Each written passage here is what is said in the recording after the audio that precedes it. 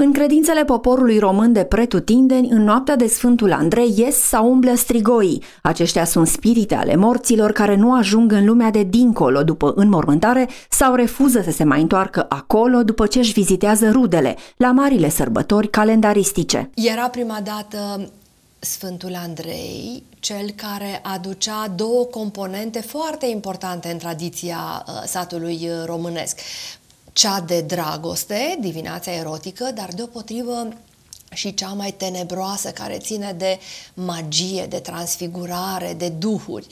Fiind un moment atât de, de versatil, am spune, de cameleonic, în care trecem printr-o limită, printr-un prag, cum spun, se termină un ciclu natural și începe un alt ciclu, se termină ziua și căldura și lumina și intrăm în iarnă cu frig, cu mai mult întuneric și cu teama absolut naturală omului de întuneric.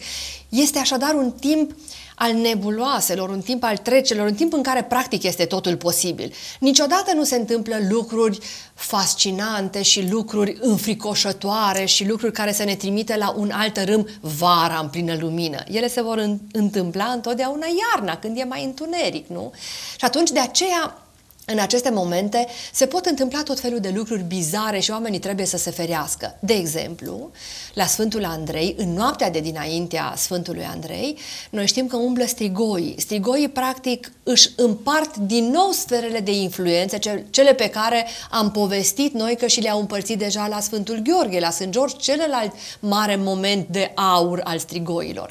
Acum strigoii își reîmpart teritoriile în sfere de influență, așa că bântuie satele, bântuie casele și de aceea oamenii trebuie să se ferească de ele la Sfântul Andrei, punând ruguți la porți, dacă mai este, dar neapărat punând usturoi. Acum, antidotul redutabil pentru strigoi este usturoiul. De partea cealaltă, tot așa fiind un timp mai special și fetele vor să profite de acest timp și își ghicesc viitorul. De aceea, sărbătoarea populară se numea Indreiul fetelor și fetele își ghiceau ursitul. Acum este momentul în care fac tot felul de practici magice ca să vadă dacă se vor mărita, cu cine se vor mărita. În noaptea de Sfântul Andrei, ca să-și viseze ursitul, unele fete își pregătesc o turtă sărată dată. Cea mai cunoscută astfel de practică magico-rituală care se desfășura în satele de altă dată ale selajului era mâncarea unei turte sărate. Fetele își făceau cu o zi înainte o turtă foarte sărată din apă, făină și multă sare, o rupeau în două, jumătate o puneau sub pernă și jumătate o mâncau. Dacă o mâncau, se presupunea că în noaptea de Sfântul Andrei, dacă se vor culca, își vor visa ursitul aducându-le apă. Acel fecior care în vis le va aduce apă, ele fiind foarte însărate, însetate pentru că au mâncat nu turta sărată, acela va fi ursitul.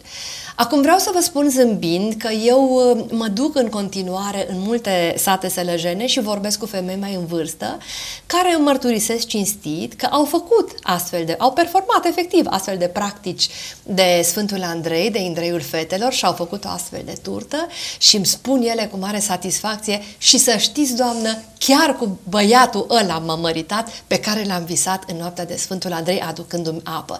Așadar, mecanismul magico-ritualic funcționa foarte bine în satul tradițional românesc.